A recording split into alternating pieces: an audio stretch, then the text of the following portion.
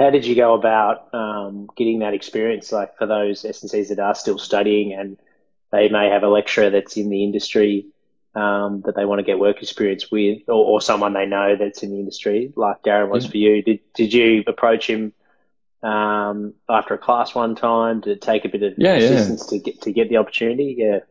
Yeah, so um, I I suppose because I knew that that's what I wanted to do, and Matt, I was I'll, I'll acknowledge it. He even says it in my latest book too. Um, given that he wrote the foreword for it, and that I was that annoying guy basically who uh, knew what I wanted to do. Just basically a pest, pestering him at every moment, just to.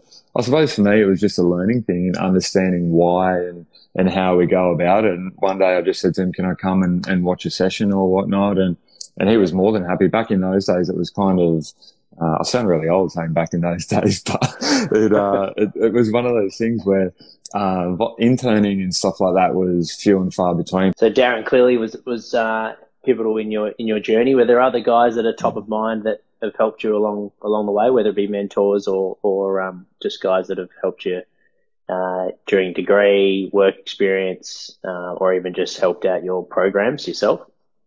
Yeah, so uh, to be honest, I can't name like there's too many names who have actually uh, you know had an impact on on my career and as an individual. Like I, yeah. I kind of uh, went through a stage where every year I liked having uh, a mentor in different facets of my life. So um, whether it be a, a, mentor for I suppose life, and then a mentor, an S and C mentor, and things like that. So um, I try to reach out for these to these different aspects of my life of people who I essentially thought we're doing a good job.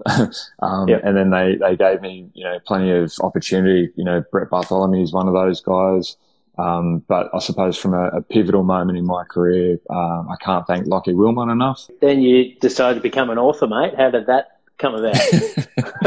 uh, over the 17 years of working in the field, i have just been asked, and anyone who has worked in the youth space would resonate with this in that you get asked the same questions over and over and over, and nothing changed from 2003 from when I was doing it through to 2020 at the time. I was still getting asked the same questions from friends and family members and things like that. And I thought, there's no actual real resource out there that is just re- like just keeps it real and explains how it all works from the development space all the way through into professional sport. But more importantly, just the benefits of sport and being physically capable to engage in sport can actually deliver in the real world. What were some of those questions? I guess three of them maybe that um yeah yeah absolutely parents yeah. were asking yeah yeah. Uh, so one of them is was simply just how much is like how much is too much training for my kid.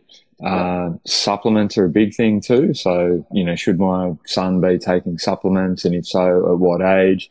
The resistance training one is a huge one um, a variety of different factors, whether or not it be for boys, you know, the whole thing of stunting their growth and whatnot, which we all know is, you know, absolute fallacy.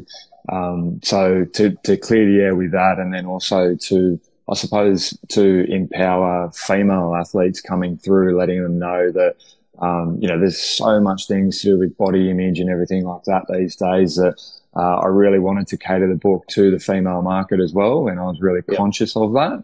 Yeah. Um, so yeah, so they're, they're the topics that just continually come up time and time again. And then, and the role with, with Brisbane, how long have you been in that directing um, role and, and explain a little bit the program for those that aren't aware of what the high school is doing? Yeah, so uh, I was fortunate enough to end up being uh, coming through with the goods, I suppose, in the interview process at the back end of last year, and it was a bit of a turbulent time to get up here, and I ended up relocating up here with my uh, partner and son in January. So we'd started in January, and uh, I've got a really cool team of. Uh, the school's gone about it a very different way. I haven't seen anything a model like they have because they're an extremely academic school, um, and the way that they integrate their uh, performance development into the actual academic day to allow not only uh, the students to continue with that academic success in the way that they've structured their, their day to include it as part of the day so that there's not so much before school and after school training,